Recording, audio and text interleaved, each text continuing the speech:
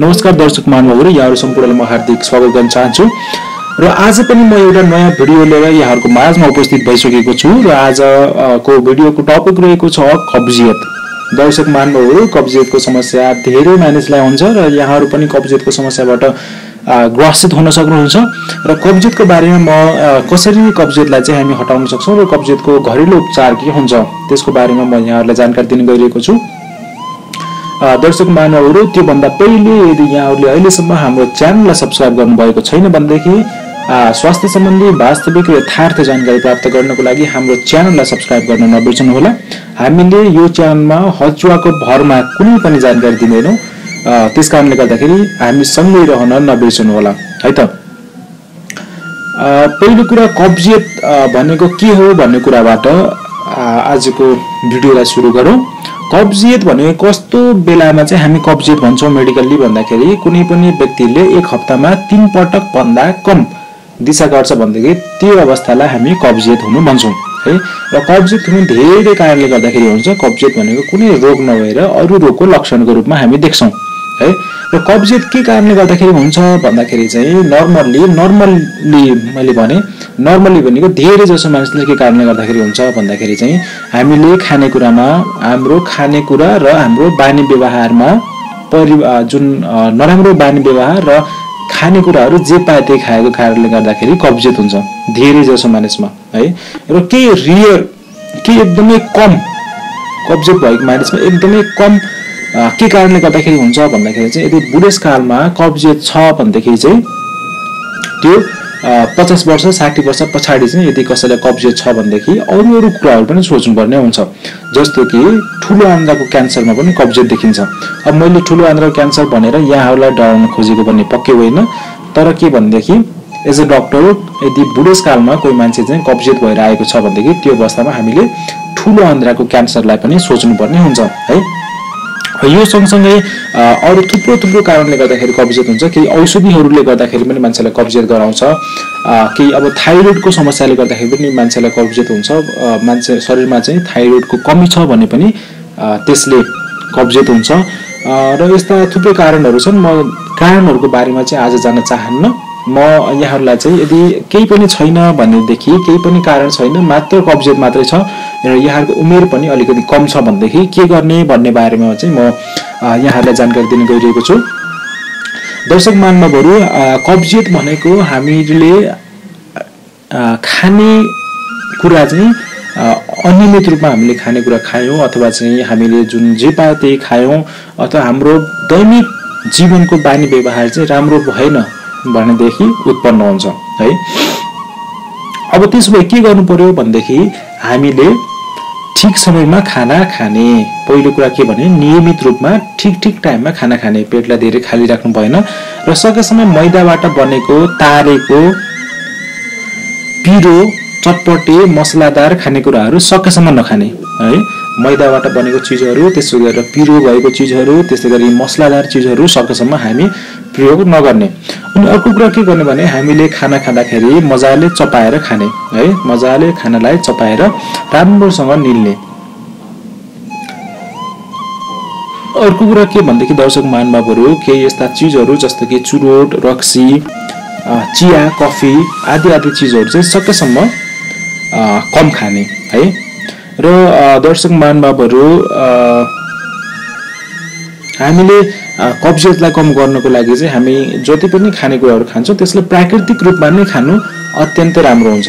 किनभनेदेखि आजकल आजकल मैदालाई एकदमै धेरै जुन रिफाइन्ड कार्बोहाइड्रेट भन्छौँ हामी होइन रिफाइन्ड कार्बोहाइड्रेटको सेवन धेरै भएको कारणले गर्दाखेरि चाहिँ कब्जियत भएको छ। त्यस कारणले गर्दाखेरि हामी चामललाई चाहिँ यदि मजाले पा पोलिस गरेर खाइरहेका हुन्छौँ त्यो गर्नु राम्रो हुँदैन। मैदामा भएको जुन गहुँमा भएको जुन चोकर हुन्छ त्यसलाई हामी हटाएर खान्छौँ। त्यसले गर्दाखेरि पनि कब्जियतको समस्या निम्तिन्छ। त्यसै गरी हामी बजारमा रिफाइन्ड कार्बोहाइड्रेटहरू धेरै खान्छौँ जङ्क फुडहरू धेरै खान्छौँ चाउचाउ बिस्कुटहरू चक्लेट्सहरू धेरै खान्छौँ। अनि चिनीको मात्रा पनि हामी धेरै प्रयोग गर्छौँ होइन? यी यी कारणले गर्दाखेरि हाम्रो स्वास्थ्यमा नराम्रो असर पर्छ र यसले चाहिँ कब्जियत निम्ताउँछ। त्यसको त्यसले गर्दाखेरि दर्शक मानवहरू हामीले के गर्नु पर्यो भने खानेकुराहरूलाई सकेसम्म प्राकृतिक रूपमा नै सेवन गर्ने।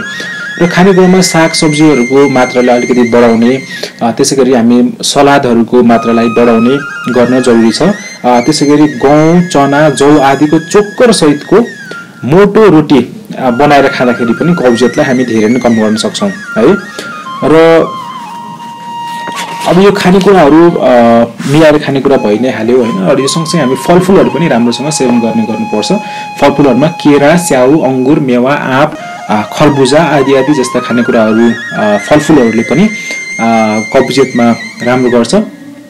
किनभनेदेखि अङ्गुर भयो स्याउ भयो केरा भयो यस्ता यस्ता फलफुलहरूमा चाहिँ फाइबरको मात्रा धेरै हुन्छ। जसले गर्दाखेरि चाहिँ के हुन्छ भने स्टोनको भोल्युम जुन दिशाको भोल्युम हुन्छ दिशाको मात्रा यिनीहरूले बढाइदिन्छ र त्यसले गर्दाखेरि चाहिँ दिशा पेटभित्र जम्मा हुन पाउँदैन।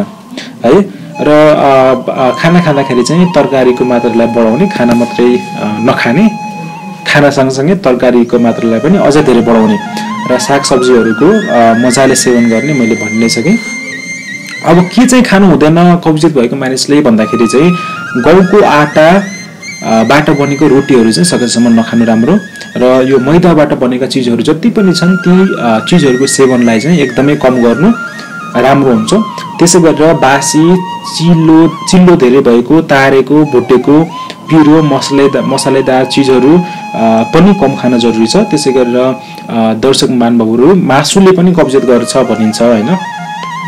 त्यस कारणले गर्दाखेरि मासुलाई पनि कम गर्नु राम्रो हुन्छ है? र कब्जियत भएको मानिसलाई चाहिँ प्रशस्त मात्रामा पानी सेवन गर्न आवश्यक छ।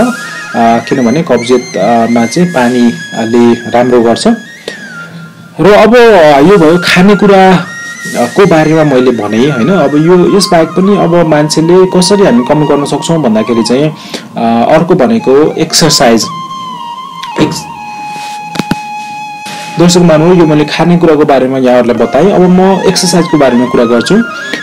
र के हुन्छ भनेदेखि चाहिँ कब्जियत हुनुको कारण भनेको चाहिँ हामीहरू जुन आन्द्रा हुन्छ होइन त्यो चाहिँ आफ्नै गतिमा चलिरहेको हुन्छ। र त्यो आन्द्रा चल्दाखेरि के हुन्छ भने खानेकुरा बिस्तारै बिस्तारै बिस्तारै बिस्तारै तल तलतिर चल्दै जान्छ। अब आन्द्रा राम्रोसँग चलेन भने के हुन्छ भने त्यो खानेकुराहरू चाहिँ तल सर्न पाउँदैन। त्यसैले गर्दाखेरि दिशा बढ्न पाउँदैन र मान्छेलाई कब्जियत हुन्छ। अब हामीले के गर्नु पर्यो भने मजाले एक्सर्साइज गर्ने है दिनमा बिहान बेलुका हिँड्ने स्पोर्ट्स खेल्छ भने स्पोर्ट्समा एक्टिभ हुने त्यसै गरेर परिश्रम शारीरिक परिश्रम हुने खालका कामहरू गर्ने योगा गर्न सकिन्छ। त्यसै गरी कोही जिम जान्छ भनेदेखि जिम पनि राम्रो हो होइन? यो सँगसँगै मेन कुरा भनेको चाहिँ के भनेदेखि चाहिँ मान्छे अल्छी हुनु भएन अल्छी बानीको कारणले गर्दाखेरि नै कब्जियत हुन्छ धेरै जसोमा। त्यस कारणले गर्दा मान्छे एक्टिभ हुनु पऱ्यो। जति धेरै एक्टिभ भयो त्यति धेरै कब्जियतको सम्भावना कम हुन्छ। कब्जियतको यो समस्या चाहिँ शारीरिक रूपमा रूपमा एक्टिभ मानिसहरूलाई चाहिँ कम हुन्छ है। र अर्को सँगसँगै के गर्ने भन्दाखेरि खाना खाने बित्तिकै पानी पनि खाना खाने बित्तिकै पानी पनि सकेसम्म नखाएको राम्रो होइन। र यो सँगसँगै दर्शक महानुभावहरू यदि कसैलाई दिशा लाग्छ भनेदेखि दिशा पिसाब चाहिँ सकेसम्म रोक्नु हुँदैन होइन? र र दिशा पिसाबलाई सकेसम्म रोक्नु हुँदैन। दिशा पिसाब दिशा चाहिँ रोक्नु भनेको राम्रो मानिँदैन। र यो सँगसँगै मानिसको चाहिँ मानसिक तनाव चिन्ता क्रोध आदिलाई चाहिँ हामीले कम गर्न सक्छौँ र यसले पनि कब्जियतको बिरामीलाई धेरै नै सहयोग पुर्याउँछ है? र दर्शक मानवहरू अर्को कुरा पनि मैले भन्न चाहेँ कि कब्जियत भएको मानिसले चाहिँ यत्तिकै औषधि ल्याएर खाएको भेटिन्छ होइन? यो नियमित रूपमा कब्जियतको लागि औषधि भनेर मान्छेहरूले खाइरहेको भेटिन्छ। तर त्यो खानु राम्रो हुँदैन। कब्जियतलाई चाहिँ हामी खानेकुरा र यो एक्सर्साइज दुईवटा चिजबाट हामी कब्जियतलाई निको बनाउन सक्छौँ। त्यस कारणले गर्दाखेरि चाहिँ दैनिक रूपमा औषधि सेवन गर्नुभन्दा चाहिँ आफूले खाने खानेकुरालाई चाहिँ मिलाउने खानेकुरालाई चाहिँ व्यवस्थित गर्ने र दैनिक रूपमा एक्सर्साइज गर्ने शारीरिक एक्सर्साइज गऱ्यो भनेदेखि कब्जियत आफै निको हुन्छ त्यस कारणले गर्दाखेरि यसमा चाहिँ हामी त्यस्तो धेरै दैनिक रूपमा औषधि खानुपर्ने हुँदैन। र दर्शक मानवहरू यो भनेको मैले नर्मल कब्जियतको बारेमा भने र कब्जियत भनेको अरू अरू कारणले गर्दाखेरि पनि हुन्छ। कहिलेकाहीँ चाहिँ आन्द्रामा यदि रोकियो आन्द्रामा चाहिँ ब्लकेज भयो अथवा आन्द्रा थुनियो भने पनि कब्जियत हुन्छ होइन? र यो अरू अरू कारणहरूको बारेमा चाहिँ अरू भिडियोमा चर्चा गरौँला। मैले चाहिँ आज यहाँहरूलाई नर्मल कब्जियतको बारेमा यहाँहरूलाई बताएँ। आशा चाहिँ यो भिडियो यहाँहरूलाई जानु जानकारीमूलक भयो होला। आशा छ दर्शक महानुभावहरू यहाँहरूलाई यो भिडियो जानकारीमूलक भयो होला। र हामी यस्तै यस्तै भिडियोहरू हाम्रो च्यानलमा लिएर आउने गर्छौँ। हाम्रो च्यानललाई सब्सक्राइब गर्न पनि नबिर्सनु होला भिडियो हेर्दै गर्दा दिमागमा दिमागमा यदि कुनै प्रश्नहरू छन् भनेदेखि हामीलाई कमेन्ट गर्न पनि नबिर्सनु होला हामी आगामी भिडियोहरूमा ती टपिकमा चर्चा गर्नेछौँ। आजको लागि भने यति नै। हवस् त धन्यवाद। नमस्ते।